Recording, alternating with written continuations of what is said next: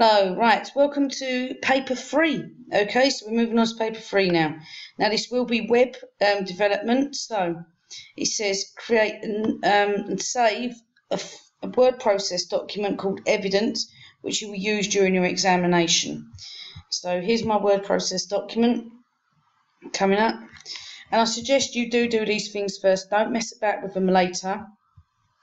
So file, save as, going to put them in my past year 11 past papers file.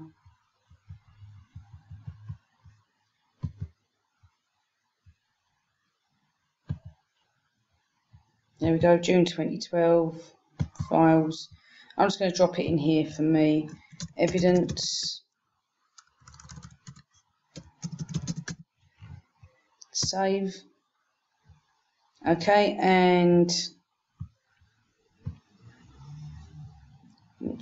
don't know what that is. Right, and um, then it says place your centre number, candidate number at the header, uh, name of your page in the header. Okay, so I'm just going to click up the top here. I'm going to put name, candidate,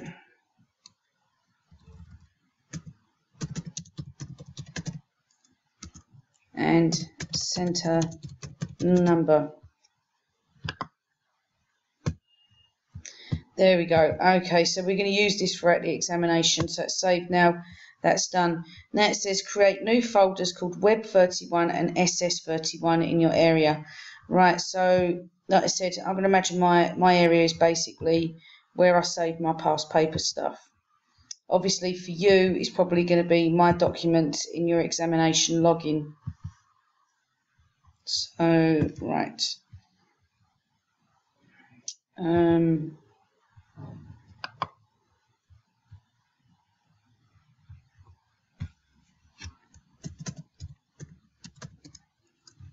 Web 31 and it is important you save your stuff in there because when you do the CSS they're going to read it from the file path.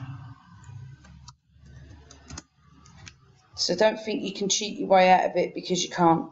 Right so um, we don't need to go I, have um, already put this stuff on Moodle for my students and for the rest of the students around the world um, make sure you click on the link under the description and you can directly download these files Okay, so right, save these files into your Web31 folder. Right, so I'm going to go to my paper 3 folder. And I think these are all the files. Yep, that looks like all the files. So I'm just going to expand this. So I'm going to control C, go to files, go to Web31, control V. There we are, done. Right, I'm going to minimize that. Right, download and save the file J21 employees CSV into your S31 folder. So there we are. So I'm going to control X that actually. There it is. Now let's move on. Right, you work for a company called Hothouse Design. You're going to create a new web page for a client called Extreme Adventure Holiday Company. Okay, um, I think my class, you may have been through this one before. Okay, at least giving it a go. But it don't hurt to do it again. Okay, because this is a bit of a tricky one. So it's never going to do you any harm to go through it twice. Um, because you could get a tricky one come up on your exam, as simple as that. Right, so it says open image J21 back D1 JPEG in suitable application. You will manipulate this image to create the background which will be used to, um, in a style sheet. Now resize the image. Okay, so I think the best program would be this one. So um, I'm going to open it up. No, it won't be actually resize the image so it's um, 720 pixels. What I made yes it will be. So I'm going to open it up in here. So open. So that would be from your web 31 folder. Once you've found the folder the um, stuff it's found stuff once it'll open it in there all the time. Year 11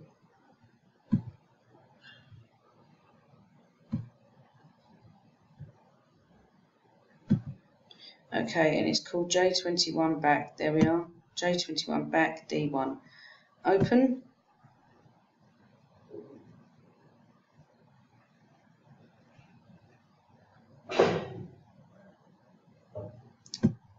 Right, uh, this thing is doing now. Okay, so if it doesn't open in there, then the best thing may be for me to open it somewhere else. Okay, right, to save time, I've just opened up the image in um, Publisher. So what I'm going to do now is the aspect ratio will already be maintained, okay? So I'm going to change this to what the exam board wants, okay, which is to be 720 pixels wide. Okay, so the width is here. So I'm going to put in 720 and I'm going to put px. Okay, so you can see the aspect ratio has been maintained. We need to save that for um, documents, for our evidence. Okay, so I would put in um, resizing image and keeping aspect ratio.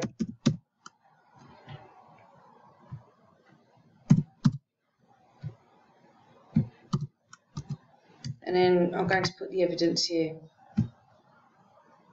Okay, because there has to be evidence a bit, So it asks right here, place this in your evidence document. Okay, so there we go. Done. Press OK.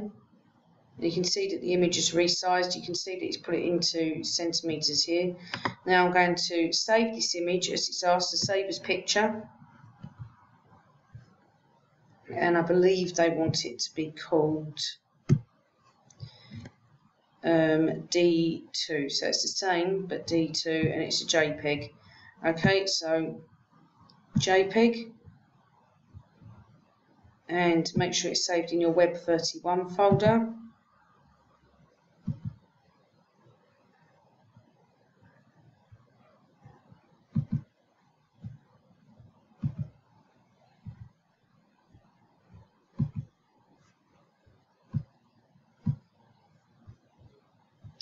Close this, it's annoying me, it keeps opening up.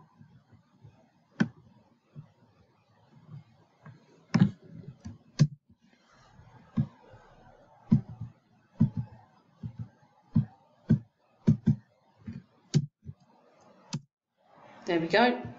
Right, I'm going to close that. I'm not going to save the publisher file. I simply don't need it anymore. Okay, so now um, it says uh, reduce the image resolution if necessary. So it is stored at uh, no larger than 100 kilobytes. Right, well we can see how much it's saved as.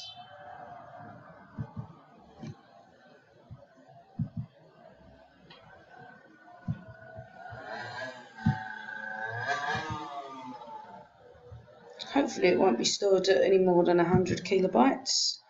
So if we go to Web31 folder, so the image we're looking at for is the D2 one. Now, so you can see the details. Right, um, right, size is 515 kilobytes. Okay, so we need to reduce this image an awful lot. So